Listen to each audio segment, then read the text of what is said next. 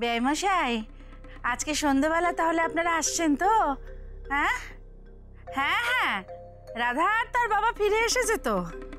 হ্যাঁ হ্যাঁ হ্যাঁ কাল কাল তো ওই হ্যাঁ কাল ওই যে ওই যে বেমশাই ওই যে পিসি মারা গেল, সব মিটিয়ে টিটিয়ে এলো আর।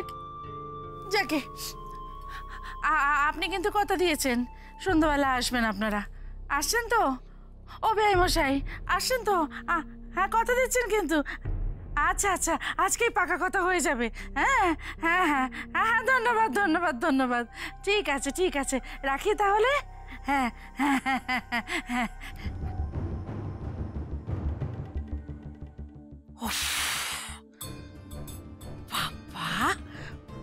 গেল। আজকে ওনারা আসছেন সন্ধেবেলা, একদম সব কিছু ঠিকঠাক হয়ে যাবে। শুধু তোদের বাবা আর রাধা কখন আসবে কে জানে? মা তুমি ওদের আসতে আজকে বারণ করে দাও। মানে? মানে তুমি তো বাবার কাছে শুনলে। বাবা শুভ কাকুর সাথে দেখা হয়ে গেছে। এবার তো শুভ কাকুর ছেলে কৃষ ব্যানার্জির সাথেই তো দিদির বিয়ে হবে। দেখো মা বাবা নিশ্চয় একটা ভালো খবর আনবে।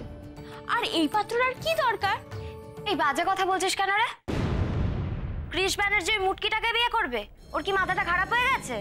নয়তো কি তোকে বিয়ে করবে? কৃষ ব্যানার্জি যখন আমাদের বাড়িতে আসলো আমি তো দেখলাম তুই তো কৃষ ব্যানার্জি কোমরের কাছে। এই একদম বাজে কথা বলবি না কিন্তু লক্ষ্মী। তুই তো জিরাফের মতো লম্বা গলা করে ওর দিকে তাকিয়েছিলি। ও কি তোকে দেখল? সারাক্ষণ শুধু রাধা রাধাই করে গেল। রাধা দিদিকেও খুব পছন্দ করে। শুনলি না কি বলল? রাধা দিদি না গেলে নাকি ওর সব কাজই বন্ধ হয়ে যাবে। আমি বলছি মা শোনো বাবা নিশ্চয়ই খুব ভালো একটা খবর নিয়ে আসবে। ওই কৃষ ব্যানার্জির সাথে দিদির যদি একবার বিয়ে লেগে যায় না? হয়েছে? শেষ হয়েছে তোমার?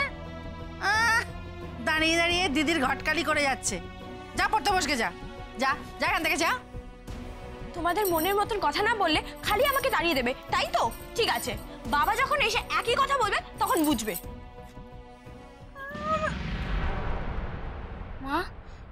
লক্ষ্মী যেগুলো বলে গেল সেগুলো যদি সত্যি হয়ে যায় এমনি বাবা ওখানে কালকে রাত কাটিয়ে তারপর বাড়ি আসছে। মামা আমার কি ভয় করছে মা? কি হবে বলো তো? কিচ্ছু হবে না মা গো। একদম ভয় পেও না তুমি। তোমার মা আছে না? রাধার সাথে ওই রাজপুত্রের বিয়ে হবে সেটা আমি মেনে নেব ভেবেছিস? কখনো না। রাধা নাকি হবে ও বাড়ির রাজরানী। আর আমি সেটা দাঁড়িয়ে দাঁড়িয়ে দেখব। হ্যাঁ কেন বাপু? আচ্ছা মানলাম শুভদা যদি কথা দিয়েই থাকে যে তোর বাবার মেয়ের সাথেই তার ছেলের বিয়ে দেবে, ঠিক আছে, সেটা রাধার সাথে কেন? তুই কে? তুই মেয়ে না? তুই দুলাল বেলার মেয়ে না? তুইও তো মেয়ে। তোর সাথেও বিয়েটা হতে পারে? দাঁড়ান আজ পাত্রপক্ষ আসুক। রাধার সাথে ওই ছেলের বিয়েটা একেবারে পাকাপাকি ঠিক করে নি। তারপর তোকে কি করে কৃষের বউ করে ও বাড়িতে পাঠানো যায়, সেই ফোন দিয়ে আমি আঁটছি। দাঁড়া।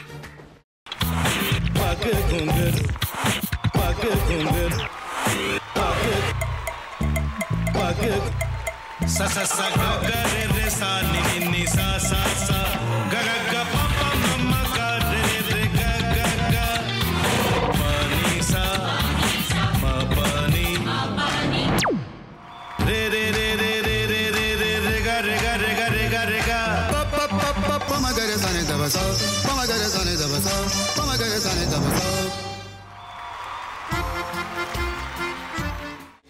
ভাতের সঙ্গে তোমার ইলিশ মাছ অ্যাকচুয়ালি ভাতের সাথেই ভালো লাগে। এইবার একটু আর একটু জল জল লাগবে হ্যাঁ। সর্ষে বাটা দিলে তো তুমি বাজার করেছো কখনো বাজার করেছি কখনো না বাজারটা আমিই করি কোথায় বাজার করো আমাদের হ্যাঁ আমি বেলঘড়িয়া মানে আমি খুব খাদ্য রসিক সত্যি বড় কথা। হ্যাঁ মানে ধরো শনি রোববার হলেই আমার মনটা চুপচুপ করে হ্যাঁ দেখো ঠিক হচ্ছে কিনা তারপর বলো তোমার উম, যাই এখানে ওখানে খেতে রেস্টুরেন্টে हे ठाकुर जी मुझे बचाइए अब तो जानते हैं कि ठाकुर के सामने कोई झूठा बात नहीं बोलता हमने चोरी नहीं किया नहीं किया সত্যি তো ঠাকুরের সামনে তো কেউই মিথ্যে কথা বলে না তাহলে রামখিনান দাদা সত্যিই বলছে তাহলে পালাটা কে চুরি করলো পুনকে কে চুরি করলো সত্যিটা জানি কি করে